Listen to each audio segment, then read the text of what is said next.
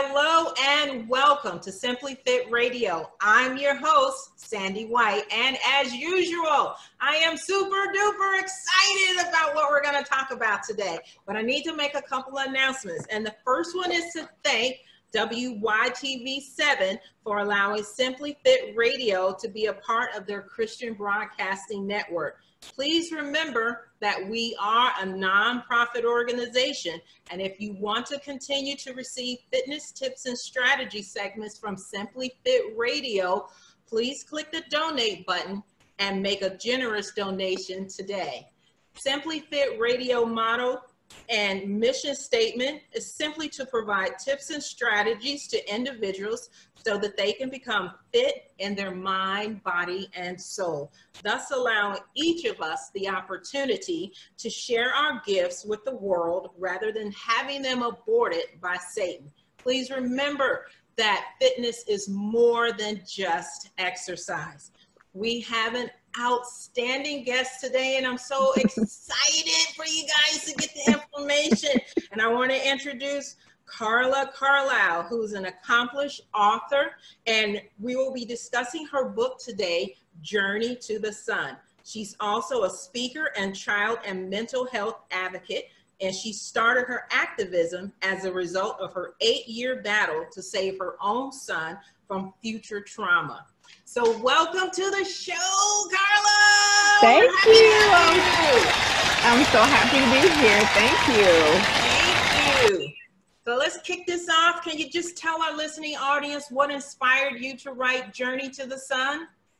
Absolutely. Well, I'll tell you that I went on this long eight year journey, and it, it was not really a, a conscious decision that I made. I ended up writing the book simply to share my story, which was one, my journey to motherhood, and then also my recognition and understanding about trauma and the impact trauma has on an individual. Uh, and then as it expands beyond that individual, looking at the family. And I learned a lot about generational trauma. I learned so much and I made so many mistakes. And quite candidly, it was therapeutic for me to to author the book and publish the book. And immediately it it catapulted me into this advocacy work which has really become my calling. It was probably always my calling but i just didn't know it. And so i wanted people to know that they they're not alone in their journey in their mental health journey. Um, whatever you know the specific situation may be it was first therapeutic for me then I felt like sharing with others. And then I quickly learned, which I kind of knew in the back of my head, there was so much more work to be done. And sharing my story could really help move the dial forward in, in, in terms of stomping out the stigma of mental health and educating people around what we need to do to take care of our, as you mentioned, our minds, our body, and our soul. All are connected. Yes, that is so important. And the, the sad thing is with uh, mental challenges, a lot of folks, as you mentioned before, it is a stigma and they don't yes. feel comfortable sharing.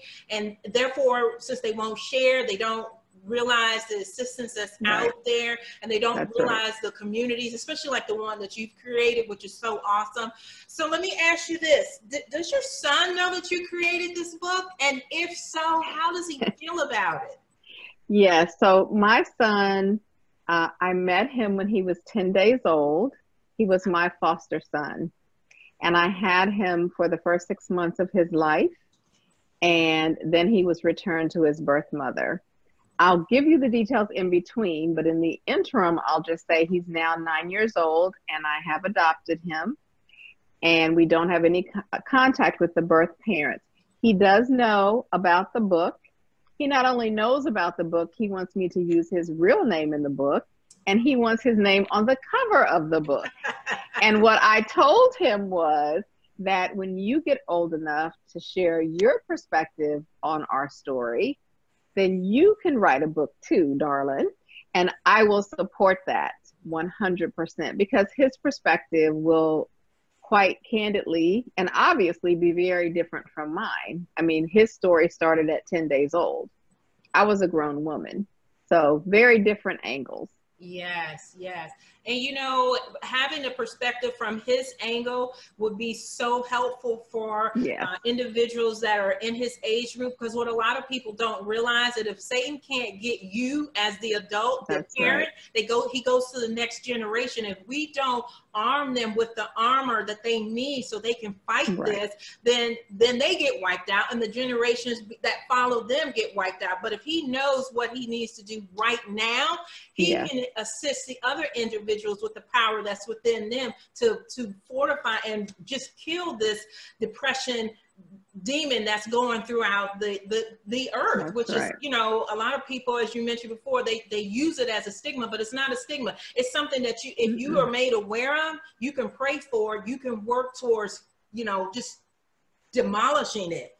Let me yes. ask you, do you have any regrets for moving forward with with your journey and just coming out, letting folks know that you are an advocate for mental health and and uh, and allowing your son to start giving you inputs into this area of your life? I have zero regrets.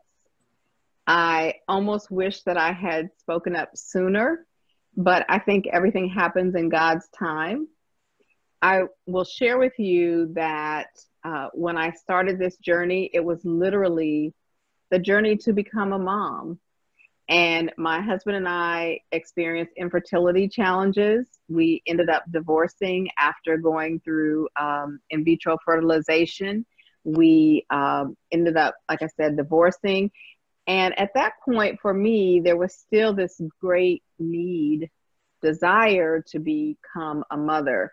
And basically, I had a friend who had adopted her sister's children, and she encouraged me to foster. And I, I didn't ever feel that I needed to be pregnant to be a mom. And with all the children out there that needed love, it was such an easy move for me to become a foster parent. What happened in our situation was that my son was the 11th child of the birth mom, and she had lost her parental rights to the other 10. By the time that I got him, she had experienced extensive trauma as a child that went uh, without an advocate or without the support that she deserved. And so she ended up, unintentionally, of course, living her life in survival mode.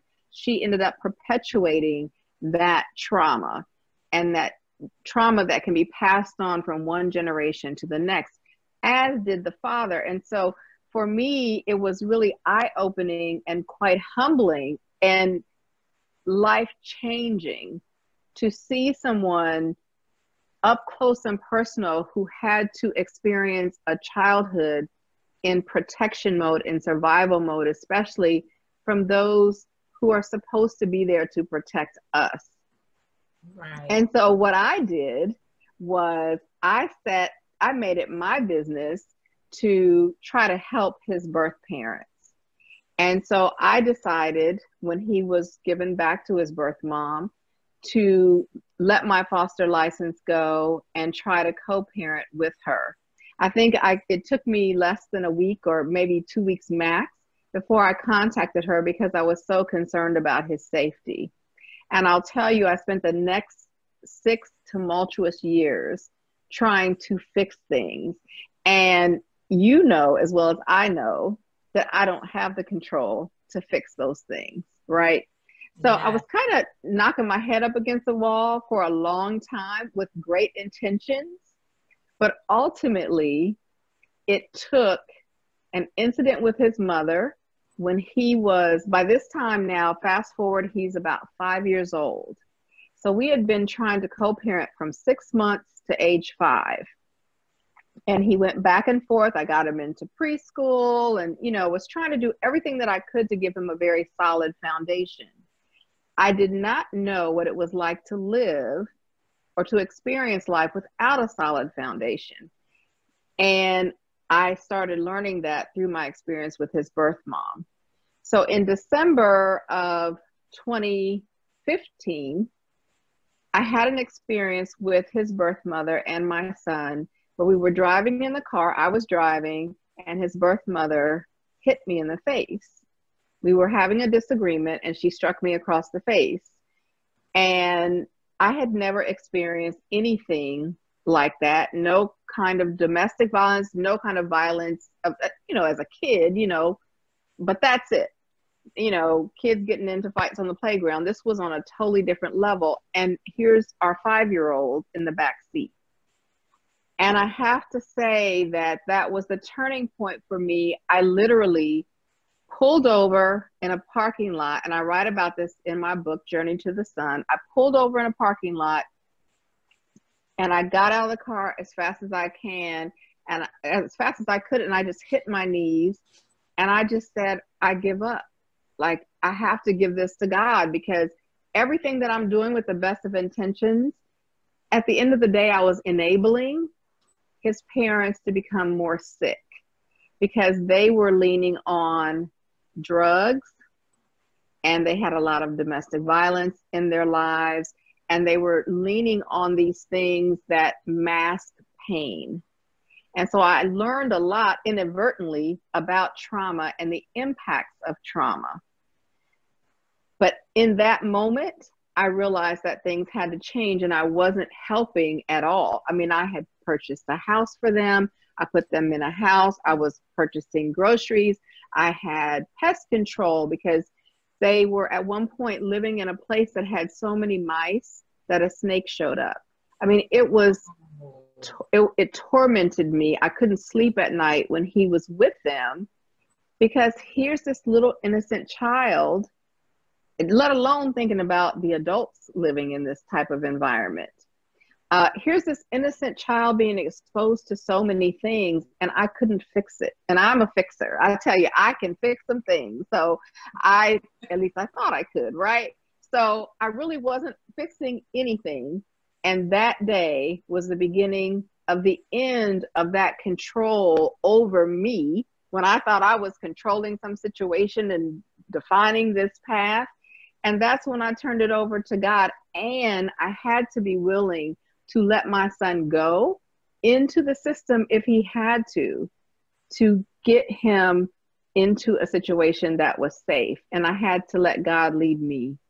And once I allowed myself to release that ownership and to give it to God, things started happening pretty quickly. That is so awesome. And what I heard in there is that basically you you you you sought out the knowledge of Christ to allow you to humble yourself so that he can yes. through, which allowed yes. you to exhibit agape love, which is awesome. Purchasing a house and uh, that that's if that's not agape love, I don't know what is for somebody I, that don't know. I would liken it to the story in the Bible of the two women who claimed that they were the mother of the child. Oh, yes, yes. And do you cut the baby in half? I had to say, if I must, I will let him go because the mother had the right, if social services got involved, to say, I don't want him with her, and her would be me. And, and social services would have to follow her direction. Yes. He could go to another foster home or to another home, but he couldn't be with me. And so I had to be willing to lose him to be a part of where we are today. Amen. So, what, what do you want people to learn and take away from your journey? Because it's an awesome one. And a lot of people, which quietly spoken, if you look at statistics, there are more people going through what you're you have yes. gone through what you've experienced but they're not reporting it and and that's right and even today regardless of how much information we have people will mm-hmm. allow embarrassment to take over and instead right. of stepping up and say embarrassment is a choice i need some help so just for some individuals that may be in our listening and viewing audience what mm-hmm. are some takeaways that they can learn from your journey so what one important point to share is that my son started exhibiting very aggressive behavior and I learned later that these these were um, aspects of post traumatic stress disorder. But at the time, he was still in this toxic stress uh, environment, and it got to the point when he was six that he tried to die by suicide twice.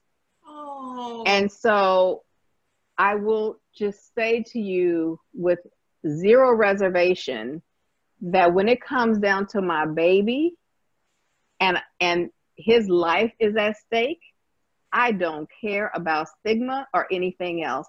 One in five of us have a mental health condition. I can tell you through this situation, I experienced my own situational depression and have been diagnosed with anxiety.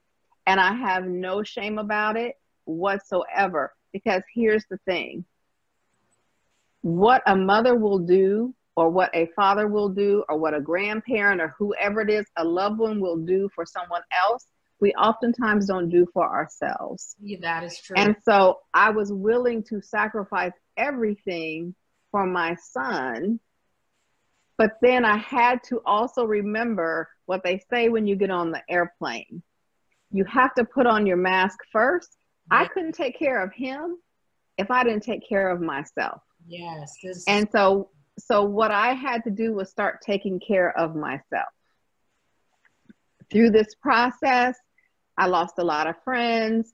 I alienated myself. I was ashamed at how bad things had gotten, but I knew that it was all in an effort to save my son. And then I had to come to that realization, as I mentioned, that I wasn't saving him at all. So, giving it over to God and letting Him guide my steps, I will tell you literally in three days, I gained emergency custody of my son.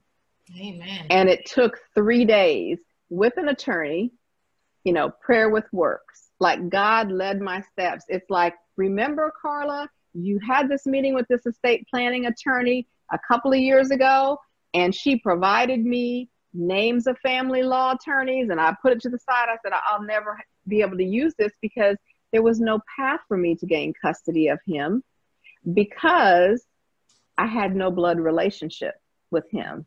But right. in actuality, the law said otherwise. There's something called in locos parentis, and I was acting as if I was his biological parent. And I was taking care of him, and the court saw that he was in danger. Now, what do I want people to take away? Several things. Let me first and foremost say I have nothing but love and compassion for his birth parents. Without them, he would not exist. And I am thankful for them. I pray for them. I have to put his safety and mine first so we do not have any contact. But the point is this no child asks to be born in a situation where they have to live their lives in survival mode. And unfortunately, what happened to my son's birth mom was horrendous. And it happens all the time with children. And so, with children, and then it, it's perpetuated with adults. And so, what I would say is from her story and my story and my son's story, if you put us all together, what it comes down to is this one loving advocate can make a difference in a child's life, in an adult's life. And if you don't have the skill set to do what needs to be done, recognize that and seek wise counsel.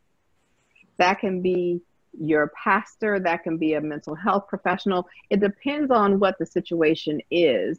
But at the end of the day, my son and I both went through extensive therapy, and there's no shame in it. I still see my therapist, and she helps me to stay grounded. It doesn't interfere with my faith because my faith is strong. And without my faith, I wouldn't be sitting here today because we were in grave danger. And that is the truth. And so I want people to understand that they are not alone. And everybody's situation may be a little different, but at the end of the day, we all deserve help and support, and there's no shame in asking for it.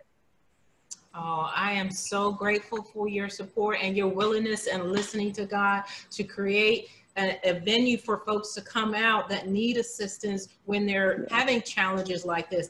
Unfortunately, we're getting to the end of our time. So we yes. bring you back on, but I just okay. let you know that we have had an outstanding time sharing with you today because this is a very important, important important topic to talk about. Um, one quick thing before we go, if you can yes. share with our viewing audiences, we didn't get a chance to go through um, some tips and strategies that they could possibly implement in their life. Would you please tell them how they can get your book and how they can get sure. in contact with you after the show? Absolutely. So my book is called Journey to the Son. It's S O N, like my child. And it's available on Amazon.com under Journey to the Son by Carla A. Carlisle, and it's C A R L I S L E. I have a website which is carlaacarlisle.com. I'm also on Facebook and Instagram, all Carla A. Carlisle.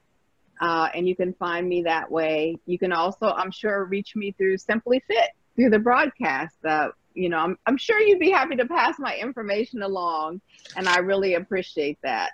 Yes, we would, because this is so. This is such a needed uh, area Absolutely. of support, and I hope you are um, thinking about expanding and maybe uh, connecting with some other areas throughout the United yes. States. And it's not just in the United States. We need this globally. Yes. So I'm decreeing and declaring in Jesus' name that you get more Amen. work than you can handle because we need uh, it.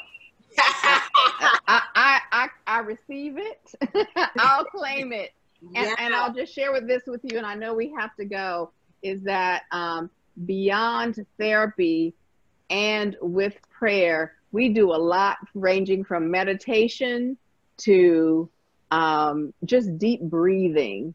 I just take some time in silence and just uh, and just give thanks because we're here and, and we're resilient and I think that's something very important to remember that we as people are resilient and trauma should not be the norm. No, it shouldn't. So unfortunately, we have to wrap it up. Okay. Carla, this has been outstanding. And one of the things um, you mentioned was meditation. I don't know if a lot of the viewing audience know, and this may be something that you know about or not. I, I just yeah. found out about the uh, Calm app. And it's basically, I'm yeah. reading off here so I don't miss anything. It's supposed to help reduce stress and anxiety, help boost confidence. It's supposed to help um, with soothing music and step by step meditation. So, yeah. y'all contact Carla, check out this app. And I'm Sandy White, your host of Simply Fitt Radio. And thank you for tuning in, and we'll see you all next week. Are you stressed out from planning your next big event? Do you have a great vision in mind, but maybe just not enough time to execute it? Let T. Williams Consulting help you. We specialize in planning, coordinating, and executing various types of events. Our goal is to tailor our services to each client to make their dream event into a reality. Whether you're planning a wedding, a family reunion, birthday party, gender reveal, reception, or theme party, T. Williams Consulting can make it happen for you. Now serving the DMV area, we are currently accepting new clients. For more information, please visit our website at www.twillconsult.com. Again, that's www.twillconsult.com.